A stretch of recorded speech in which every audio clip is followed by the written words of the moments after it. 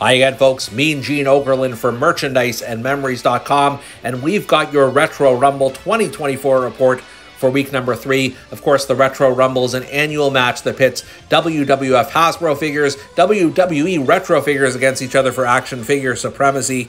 As we kick things off in week three, here's what went down.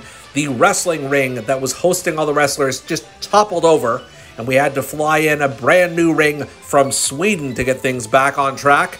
And from there, you had the Nasty Boys, Knobbs and Sags coming to blows as they battled each other out in the Retro Rumble. You also saw the British Bulldog, among others, who entered this match ready to make a statement.